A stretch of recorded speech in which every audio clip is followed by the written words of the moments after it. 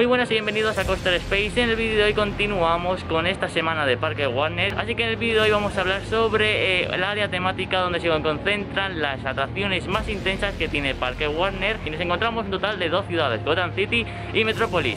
Bienvenidos a DC Super Heroes World.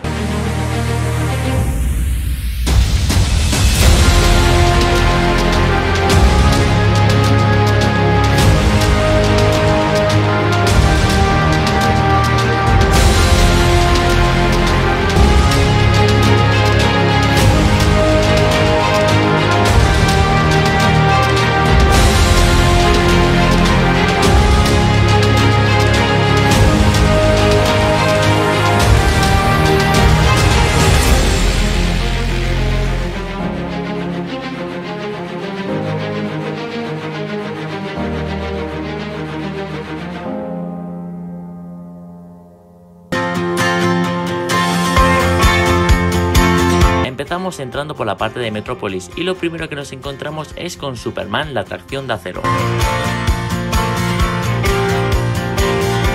Bueno, pues ya hemos montado. Pues ahora llega el turno de montar aquí en Superman, la atracción de acero, una de las estrellas, una de las montañas rusas estrellas de Parque Warner, que fue la primera floorless en Europa, si no recuerdo mal. Es una atracción muy completa, una montaña, una montaña rusa muy completa, ya que tenemos de todo. Tenemos eh, un montón de distintos tipos de elementos, como puede ser loopings, Immelman, un 0G roll que es muy bueno y muy suave. Eh, también es muy larga y sobre todo no es nada, es más larga que Batman, pero no tan intensa. Así que ahora vamos a por ella.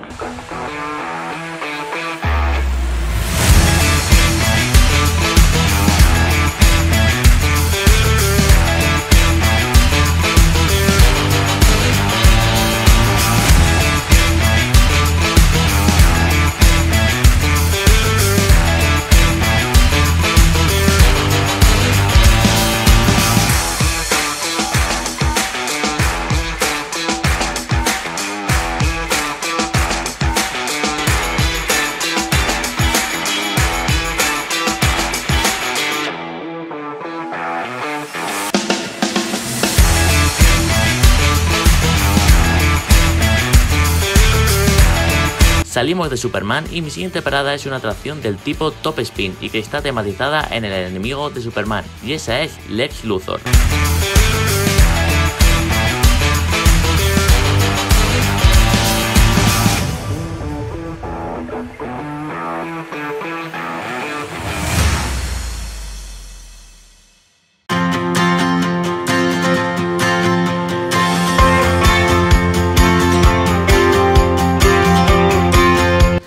Cambiamos de ciudad y entramos en la ciudad del murciélago enmascarado, Gotham City. Nada más entrar nos encontramos con una zona de juegos.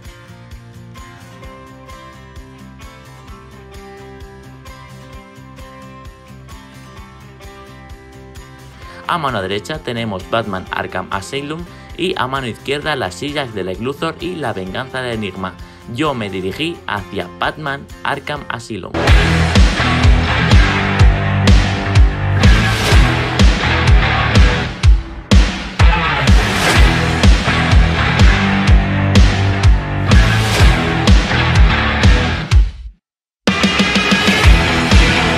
Recorrido de la atracción es el siguiente. Nosotros nos montamos en la atracción y nos adentramos en el lift, es decir, en la subida.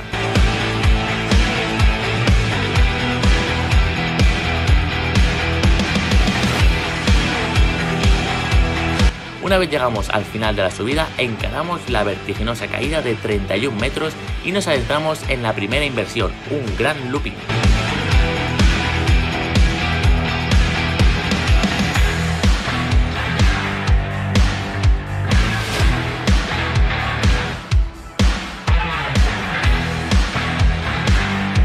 Después le sigue el primer 0G roll y después nos adentramos en una pequeña bajada que finaliza en el segundo looping de la atracción.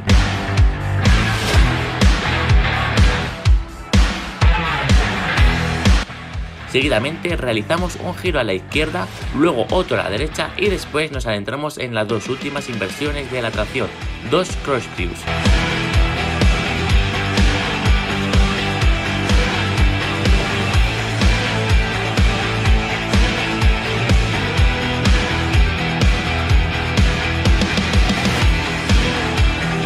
Hasta llegar a los frenos finales.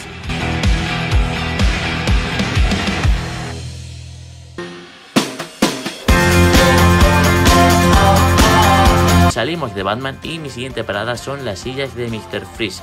Esta es la típica atracción de sillas voladoras, pero estas cuentan con dos tipos de asientos, que son dobles e individuales. Y ahora sí, tras salir de las sillas de Mr. Freeze, toca subirse en una torre de caída de 115 metros de altura y esa es la venganza de Enigma.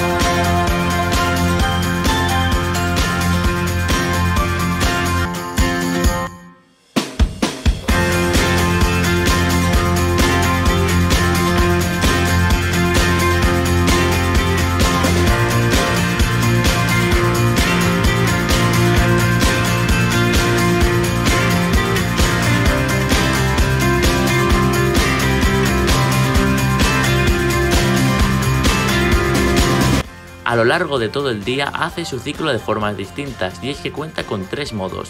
En primer lugar está el modo Space, en el cual subimos rápido y bajamos despacio. En segundo lugar encontramos el modo Turbo, en el cual subimos despacio y una vez llegamos arriba caemos rápido. Y el tercer y el último modo es el modo común, que son los dos modos anteriores juntos.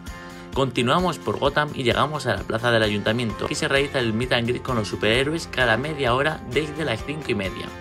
Allí podremos hacernos fotos con Wonder Woman, Superman o Batman. La última atracción son los coches de choque del Joker. Actualmente, debido al COVID, no se realiza ningún espectáculo, pero antes se realizaba Gotham City Stone Show, en el cual observábamos la lucha entre Batman y el Joker. En DC Super Heroes World también hay animaciones de calle y es que nos podremos encontrar al Joker. En cuanto a la restauración, nos encontramos con un total de 4 puestos de restauración, Dos de ellos son la tienda de chuches del Joker y el puesto de helado y del pingüino. Los dos restantes son el Gotham City Grill, donde podremos comer fast food como hamburguesas, y el segundo lugar es el Daily Planet, que se centra más en bocadillos y pizzas. Justo al lado del Daily Planet hay una zona de fumadores marcada por un círculo amarillo.